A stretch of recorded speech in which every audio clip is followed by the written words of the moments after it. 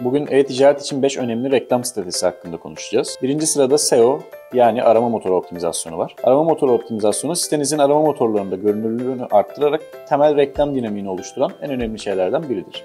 İkinci sırada sosyal medya pazarlaması.